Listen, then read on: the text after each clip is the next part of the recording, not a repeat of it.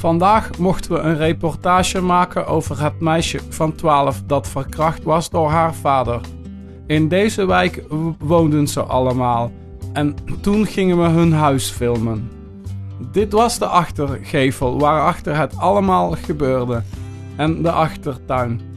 Op de muur stond pedo geschreven met een spuitbus, maar, maar toen wij kwamen was dat al weggehaald. Het was misschien wel deze muur of deze. Toen zagen we nog een slak in de tuin. Een stille getuige van het drama dat zich hier moet hebben afgespeeld. Ook werken voor de NOS? Dat kan. Kijk voor meer informatie op www.nos.nl.